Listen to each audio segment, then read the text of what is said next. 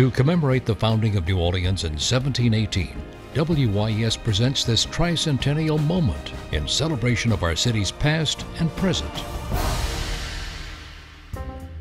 Preserved in the pages of John Kennedy Toole's A Confederacy of Dunces as the irascible Ignatius Reilly's beverage of choice, Dr. Nut was part of the local scene from the 1940s off and on until the late 70s. Its distinctive label and flavor remains memorable to a small but loyal fan base. Yeah, Dr. Nut was really my favorite. It, it was sort of a, like a, an early Dr. Pepper. It was like a strong drink, and, and I had the squirrel on the on a bottle. When I was little, that that was my favorite drink. Really, you know, I, I, I'd, you know, I'd get it just because of the squirrel.